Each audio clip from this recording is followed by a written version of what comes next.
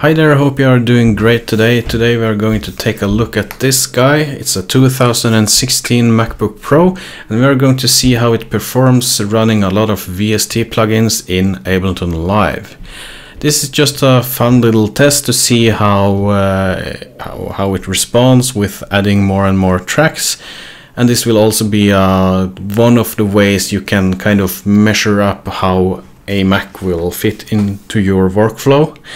I can already say that I have kind of tried this uh, a few years ago, and uh, since I produce a lot of electronic music, I use a lot of plugins. They are quite CPU heavy, so uh, I do not produce music on this MacBook Pro, but I can at least use it to produce a video and uh, use my PC in the back here to produce the music. So, but uh, just uh, for fun, uh, let's uh, open it up. Let's open Ableton Live and uh, see what it can do.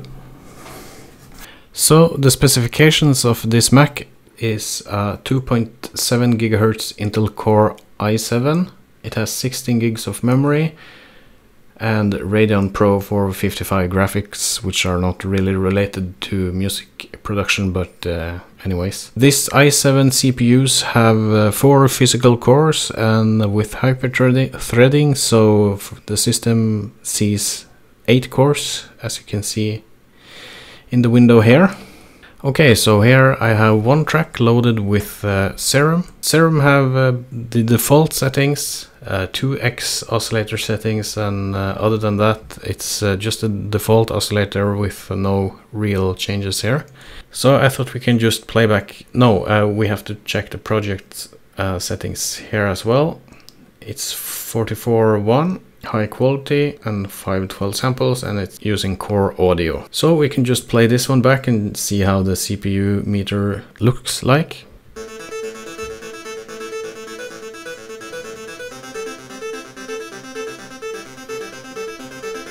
Okay, looking good.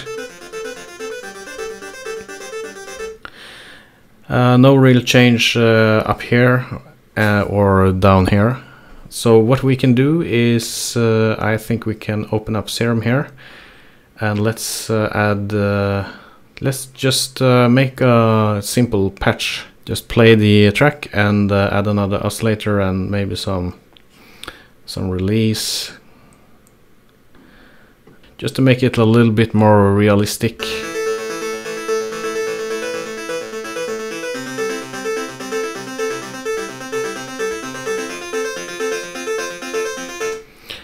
Uh, let's uh, add uh, a filter as well here.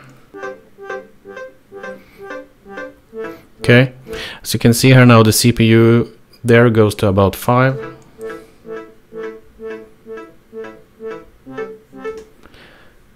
Uh, let's add uh, effects and let's add a delay.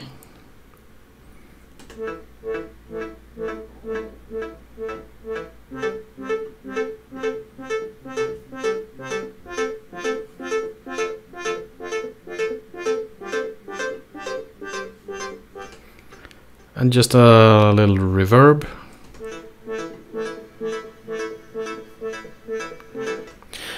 Okay, we went up to about 7%. Uh, uh, I don't think this is a complicated patch, but we can we can add some distortion as well, just to try to make it a lit, little more angry.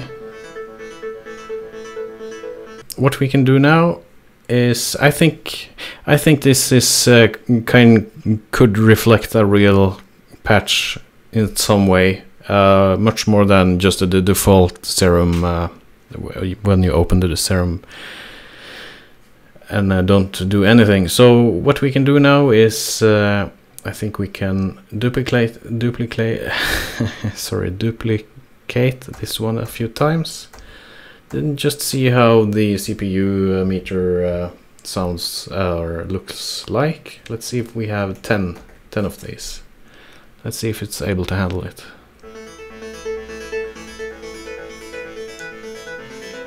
Okay, uh, I can hear, hear the audio playing from the Mac. I'm not sure if you are able to hear it as well here, but uh, it it sounds good.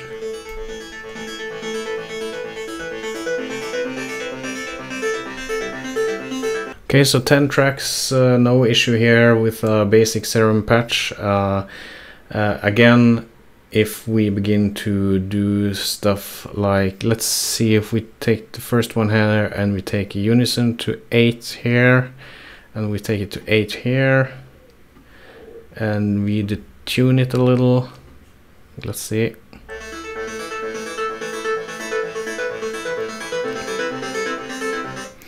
So you can see it goes up when you use uh, uh, Unison. It will uh, use more of your CPU because it's more heavy on the uh, calculations. And let's just duplicate these 10 tracks. Just make it 20. Let's see how that goes.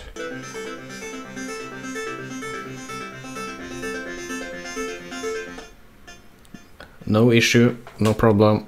Let's duplicate those to 40, 40 tracks.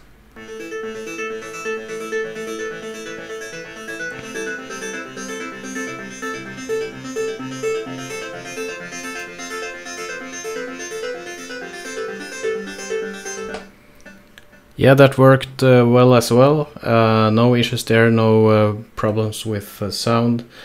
Uh, let's see if we can uh, get some more here. Let's see, I think we can take it up to 60. Let's duplicate those. Okay, it's 61.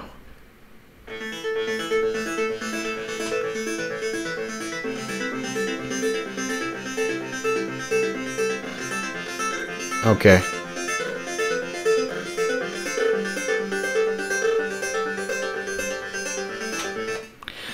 Uh, now I'm hearing uh, distortion in the audio.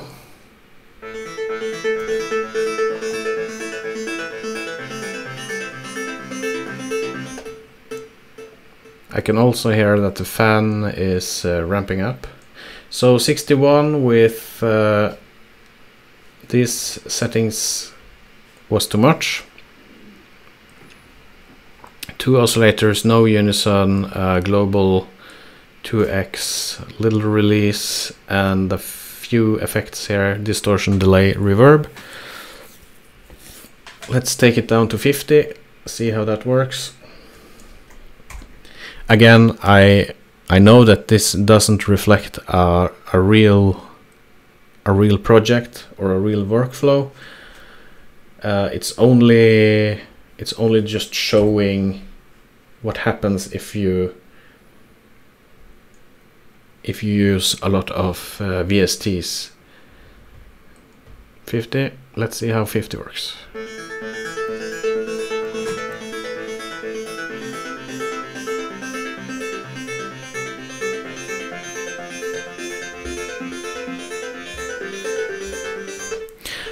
Okay, there was still a little, uh, little or crackle there. Uh, so let's take it down to 45.